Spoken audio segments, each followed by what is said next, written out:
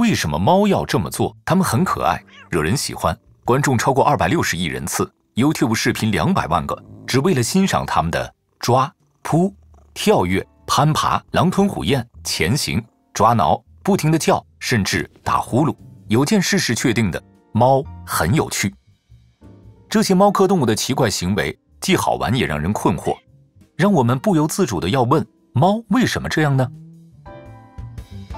一直以来，猫科动物既能独立猎食小动物，也是大型食肉动物的猎物。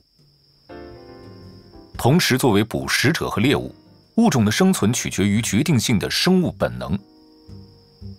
这些我们今天可以从野生或者家养的猫观察到。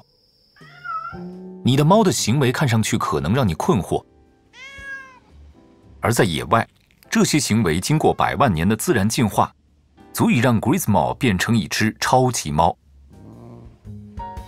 独一无二的肌肉结构和完美的平衡能力，使猫可以爬到很高的地方侦察领地，并且锁定野外的猎物。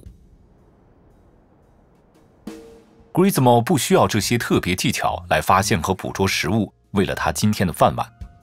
可是本质上，从书架顶部观察客厅，正是它在进化中获得的本能。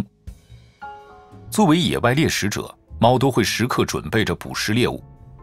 由于猫的猎物很小，在野外，猫每天要进食很多次，不停地通过前行、猛扑、杀死、吃掉的技巧来获得食物。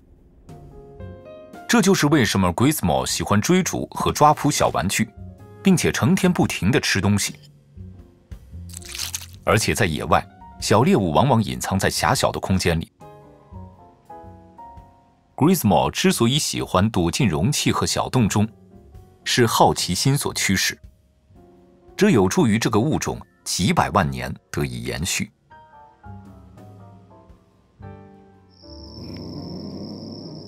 在野外，猫需要利爪来爬树猎食。自我防御，随时随地磨尖爪子，不仅帮助它们时刻保持状态，还有助于活动腰部和腿部肌肉，也使压力得到释放。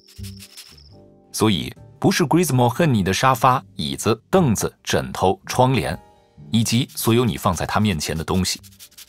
它抓挠只是为了保持它的爪子锋利，因为这正是它的祖先为了生存所做的事情。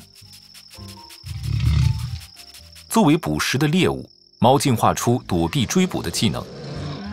在野外，猫非常善于躲避捕食者，所以直到今天，Grismo 仍然是个挤进小空间的专家，常常搜寻或躲藏在意想不到的地方。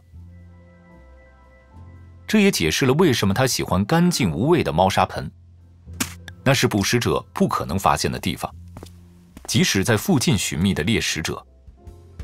想一下，我们知道的关于猫的一切，然而它们最常见的行为之一，仍然是最神秘的一个。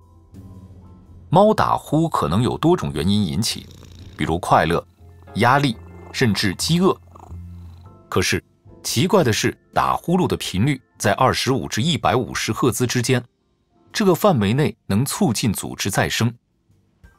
所以打呼噜使 Grismo 成为优秀的陪伴者。